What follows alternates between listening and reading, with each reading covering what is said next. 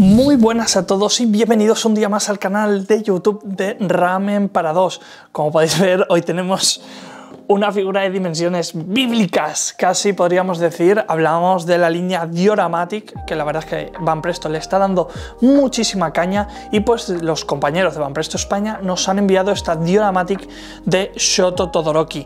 Como podéis ver, aquí tenemos ya directamente un plano grande de la figura que viene con una base y la vamos a ver en detalle porque tiene muchísimas cositas para enseñar.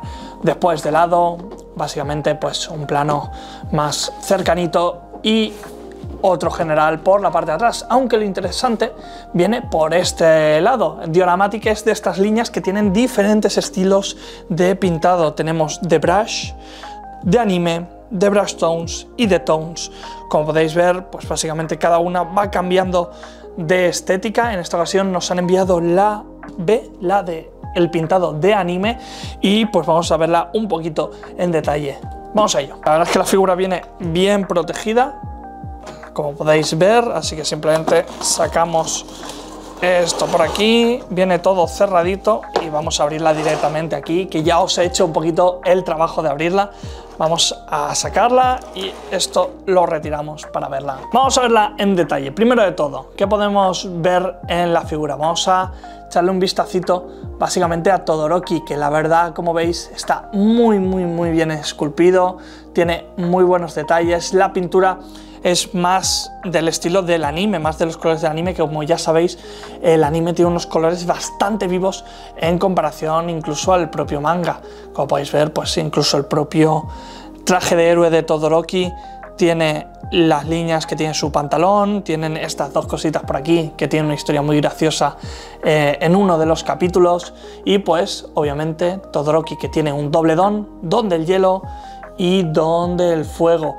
Le falta un poquito de textura, especialmente al fuego se le nota un poquito plano, pero la verdad es que queda muy chulo a nivel de simplemente por su propia pose. Además la figura como veis no está linkada a la propia base, sino que está linkada a esta onomatopeya en tres dimensiones que da la vuelta a la propia figura, este Wacom muy característico de los propios cómics de superhéroes que justamente Horikoshi utiliza bastante.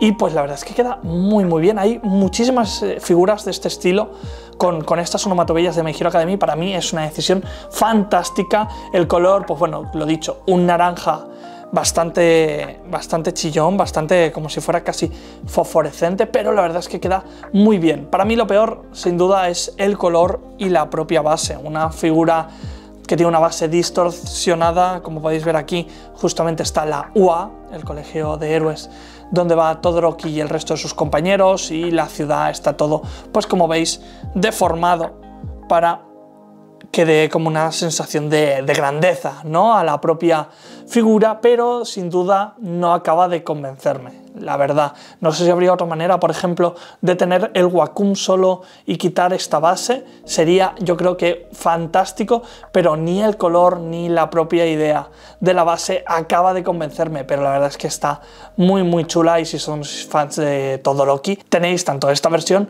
como el resto de la propia línea de Dioramatic. Y la verdad es que está muy, muy chula, ya simplemente por su tamaño, así que si eres fan de Todoroki y de My Hero Academia, yo creo que es una posiblemente muy buena opción. Además de Todoroki está también Deku, está también Bakugo, que se están uniendo a esta línea Dioramatic. Así que nada, os dejamos en la descripción si queréis ver la figura en más detalles, con fotos, con descripción, lo tenéis en el enlace a nuestra web en la sección Bellezas en miniatura y además os dejamos el enlace de la figura a la página web de Van Presto España, que son ellos los que nos han cedido esta figura para que podamos enseñarosla en profundidad.